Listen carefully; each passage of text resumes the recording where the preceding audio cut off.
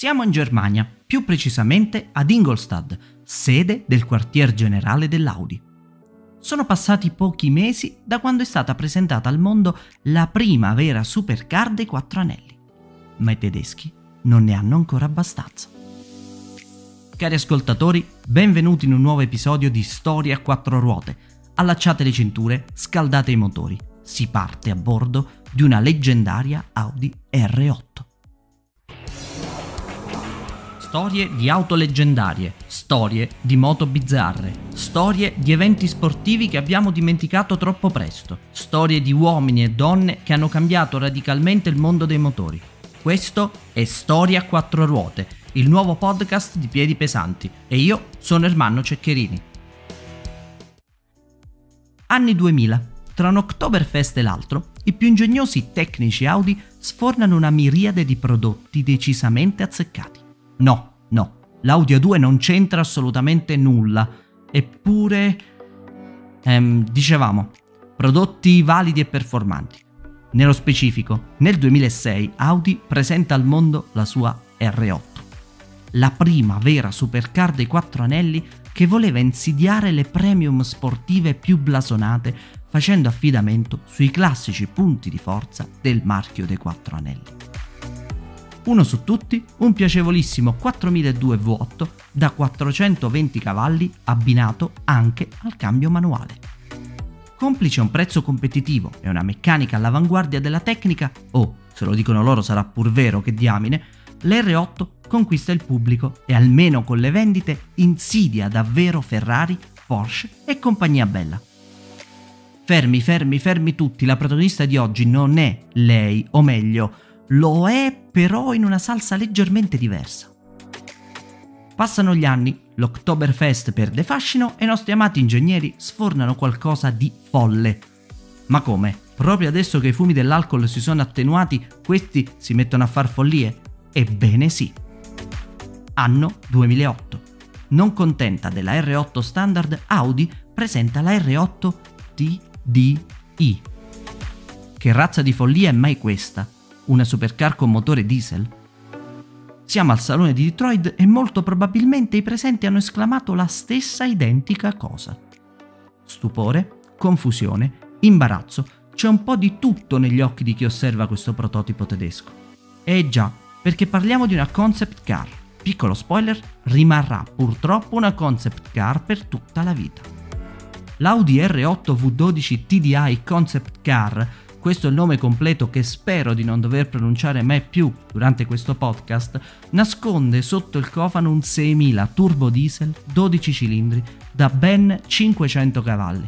E vabbè, ma che saranno mai 500 cavalli per una supercar? Non sono poi così tanti, non è così eclatante. Attenzione, piccola pausa. Pronti? 500 cavalli? Sì, ma ben 1000 Nm di coppia. Avete sentito bene, mille, roba d'auto elettriche, forse. Se tutto ciò non fosse sufficiente, sappiate che la coppia era spalmata tra 1750 e 3000 giri al minuto. In sostanza, non avevate neanche il tempo di dare gas che la R8 vi proiettava nell'iperspazio. E lo faceva coccolandovi con un bellissimo cambio manuale. Lo so, volete sapere anche questo, quanto faceva da 0 a 100. Ve lo dico, 4,2 secondi ed era in grado di superare i 300 km orari. Roba da far davvero impallidire le rivali a benzina. E a dirla tutta, era l'auto più performante dell'intera gamma Audi e se la giocava, anzi, forse era avanti, anche a molte supercar benzina decisamente più blasonate di lei. Diesel e Sound però non sono mai andati tanto d'accordo. Come potrebbe mai suonare una sportiva, anzi una super sportiva, con un motore a gasolio? Non scherziamo. Non scherziamo affatto. O meglio, non scherzarono affatto i tecnici di Audi perché risolsero anche questo problema con una linea di scarico ad hoc che rendeva giustizia al mostruoso diesel e non lo faceva sfigurare neanche di fronte alle auto benzina. Manco a dirlo, la trazione integrale 4 era una delle specifiche fondamentali affinché tutto ciò fosse possibile. Piccolo riassunto. I tedeschi hanno preso un R8, le hanno donato un motore diesel gigantesco, lo hanno imbrigliato con la trazione integrale 2 milioni di centraline e hanno compreso che adesso dovevano concentrarsi sull'estetica. Immaginatevi per un attimo cosa devono aver pensato al reparto design quando hanno capito che questa era l'Audi più performante di sempre. Osservando l'R8 turbo diesel V12 si rimane perplessi. Molti continuano a criticare la linea dell'R8 a suon di è invecchiata davvero male. Io non la penso così. Anzi, però, cari ascoltatori, questa versione diesel sì che è nata, non invecchiata, nata proprio male sembra il risultato di un tuner di provincia che vuole a tutti i costi incattivire qualcosa che invece rappresenta un discreto connubio tra eleganza e sportività. Il frontale è una presa d'aria continua, con una griglia a nido d'ape che ricorda proprio, eh, sì, la griglia del barbecue dismessa all'Oktoberfest dai noti birrai tedeschi.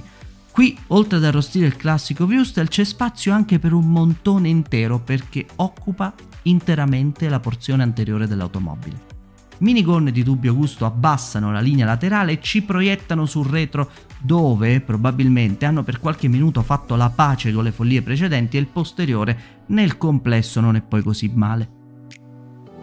Bellissimo invece il tetto in vetro, che accoglie una presa d'aria NACA per il sistema d'aspirazione del grosso motore. L'interno si veste di fibra di carbonio ed alluminio non cambia molto esteticamente rispetto alle versioni classiche, però si impreziosisce con un volante più moderno che ospita un pulsante per l'avviamento del motore e anche un manettino per le diverse modalità di guida, ovvero Dynamic, Sport e Race. Manco a dirlo, anche se un diesel non compare nessuna modalità eco. Che goduria. Non voglio però privarvi di qualche piccola curiosità. Per salvaguardare cambio, frizione, differenziali e Dio solo sa cosa, in Audi hanno depotenziato il V12. Sì, avete sentito bene, il 6000 da 500 cavalli poteva sprigionarne in realtà molti di più, con un conseguente aumento esponenziale anche della coppia. Si parla infatti di poco meno di 700 cavalli per 340 km h di velocità massima. E purtroppo non abbiamo nessuna indicazione sulla coppia che comunque sono certo essere mostruosa ma leggere insieme Audi, V12, TDI non vi dice proprio nulla?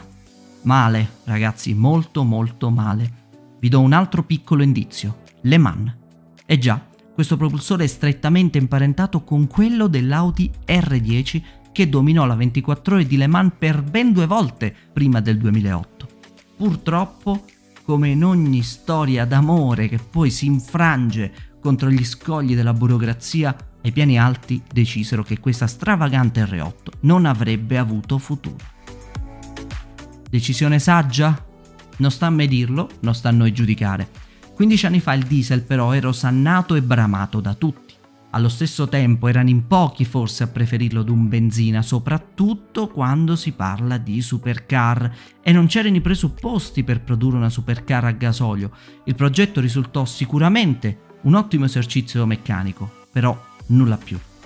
Finché, qualche anno dopo, dalle parti di Ingolstadt, provistando in un magazzino, qualcuno non trovò una dozzina di V12 turbo diesel.